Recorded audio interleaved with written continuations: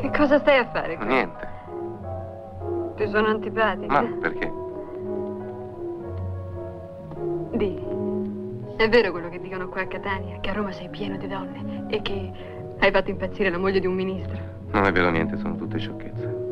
Lo dicono tutti. Dicono che a Roma le donne ti piangono dietro la porta come tante gatte. E Di. tu non dare retta a nessuno. eh? Su, Di. vieni. Vieni.